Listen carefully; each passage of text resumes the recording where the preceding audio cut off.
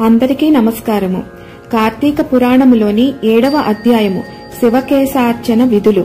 వశిష్ఠుల వారు జనకుని ఇంకను ఇటుల బోధించిరి. రాజా కార్తీక మాసము గురించి దాని మహత్యమును గురించి ఎంత వినినను తనివి తీరదు. ఈ మాసములో శ్రీ మహావిష్ణువును సహస్ర కమలములతో పూజించిన వారికి వారి ఇంట లక్ష్మీదేవి స్థిరముగా నుండును. తులసీదళములతో గాని బిల్వ పత్రములతో గాని సహస్ర నామ పూజ చేసిన వారికి జన్మరాహిత్యము కలుగును.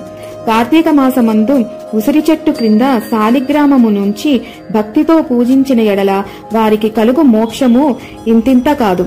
అటులనే బ్రాహ్మణులకు కూడా ఉసిరి చెట్టు క్రింద భోజనము పెట్టి తాను తినిన సర్వ పాపములు పోవును. ఈ విధముగా కార్తీక స్నానములు దీపారాధనలు చేయలేని వారు ఉదయము సాయంకాలము ఏ గుడికైనను వెళ్ళి భక్తితో సాష్టాంగ నమస్కారములైనను చేసిన ఎడల వారి పాపములు నశించును. సంపతి కలవారు శివకేశవులు ఆలయమునకు వెళ్ళి భక్తితో దేవతార్చన హుమా హోమాదులు దానధర్మములు చేసినచో అశ్వమేధ యాగము చేసినంత ఫలము దక్కుటయేగాక వారి పితృదేవతలకు కూడా వైకుంఠ ప్రాప్తి కలుగును. శివాలయమున గాని విష్ణాలయమునందు గాని జెండా ప్రతిష్ఠించినచో యమకింకరులు దగ్గరకు కూడా రాలేరు సరికదా?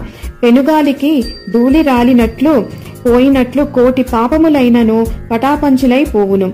ఈ కార్తీక మాసములో తులసికోట వద్ద ఆవు పేడతో అలికి వరిపిండితో శంకు చక్ర ఆకారములతో ముగ్గు పెట్టి నువ్వులు ధాన్యము పోసి దానిపైన ప్రమిదను ఉంచి నిండా నువ్వులు నూనె పోసి ఒత్తిని వేసి వెలిగించవలెను. ఈ దీపము రాత్రింబగళ్ళు ఆరకుండా ఉండవలెను. దీనినే నందా దీపం అందురు. ఈ విధముగా చేసి నైవేద్యమిడి కార్తీక పురాణము చదువుచుండిన ఎడల హరిహరాదులు సంతసించి కైలాసమును వంపెదరు అటులనే కార్తీక మాసములో ఈశ్వరుని జిల్లేడు పూలతో అర్చించిన ఆయుర్వృద్ధి కలుగును. సాలగ్రామమునకు ప్రతినిత్యము గంధము పట్టించి తులసీదళముతో పూజించవలెను. ఏ మనుజుడు ధనము బలము కలిగియు కార్తీక మాసమందు పూజాదులు సలపడో ఆ మానవుడు మరుజన్మలో సునకమై తిండి దొరకక ఇంటింటా తిరిగి కర్రలతో దెబ్బలు తింటూ నీచ స్థితిలో చచ్చును.